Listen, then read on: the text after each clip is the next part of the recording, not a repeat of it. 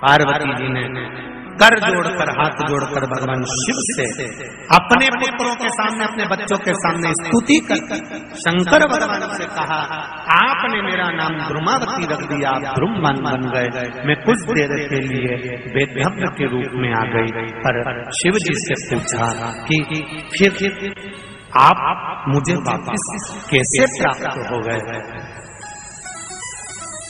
मुझे कैसे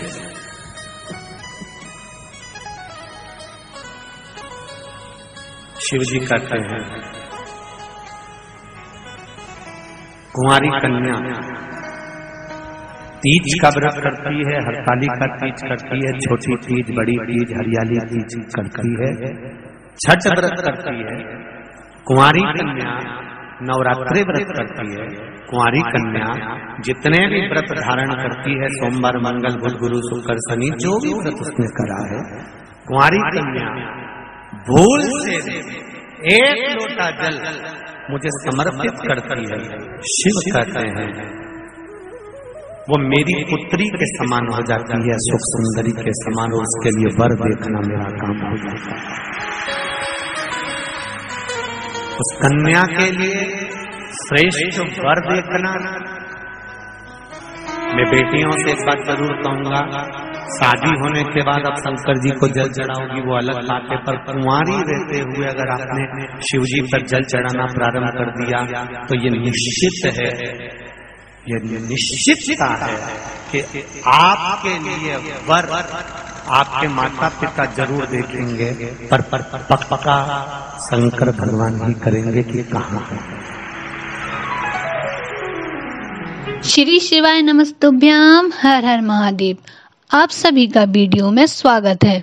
दोस्तों, कल पंचमी तिथि का दिन है और प्रत्येक वर्ष मार्गशीर्ष मास की शुक्ल पक्ष की पंचमी तिथि को विवाह पंचमी का पर्व मनाया जाता है। कहा जाता है कि इस दिन भगवान श्री राम और माता सीता का विवाह हुआ था।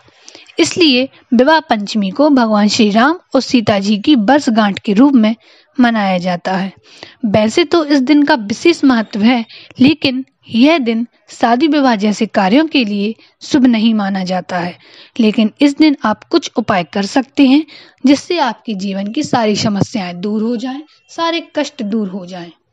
दोस्तों वीडियो में बताए गए उपाय शादी विवाह से संबंधित हैं।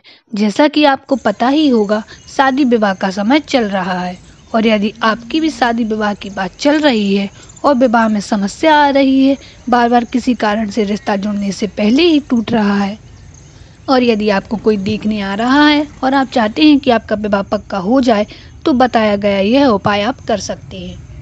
दोस्तों, या तो आप यह कार्य संबंध पक्का होने से पहले कर लें, या फिर जब आपके संबंध की बात चल रही हो, तब भी आप यह उपाय कर सकते हैं। यह उपाय करने के लिए आप चले जाएँ शिव मंदिर। और यदि आपके घर में शिवलिंग हो तो यह कार्य आप घर में भी कर सकते हैं।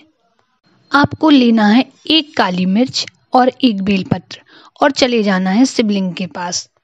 सबसे पहले आपको शिव जी को एक लोटा जल समर्पित करना है। फिर जो आप काली मिर्च ले गए हैं, वह काली मिर्च शिव जी को शिवलिंग पर समर्पित कर दें। फिर बेलपत्र को उठाएँ और अपनी मनोकामना बोलकर ओम नमः शिवाय का जाप करते हुए उस बेलपत्र को शिव जी पर समर्पित कर दें। लेकिन दोस्तों, जब आप बेलपत्र समर्पित करें, तब बेलपत्र की डंडी का मुख आपको इस प्रकार रखना है। देखिए आप स्क्रीन पर, जब आप बेलपत्री समर्पित करें तो बेलपत्री की डंडी का मुख आपको अपनी उल्टी तरफ़ रखना है। मतलब जिस तरफ़ आप खड़े हैं, उसके दूसरी तरफ़ आपको डंडी का मुख रखना है। बस इतना सा कार्य कर कर आपको आ जाना है। महादेव आप पर कृपा करेंगे। और आपकी शादी विवाह की समस्याएँ भी दूर हो जाएँगी। दोस्तों, हम आशा करते हैं आपको यह उपाय समझ आ गया होगा।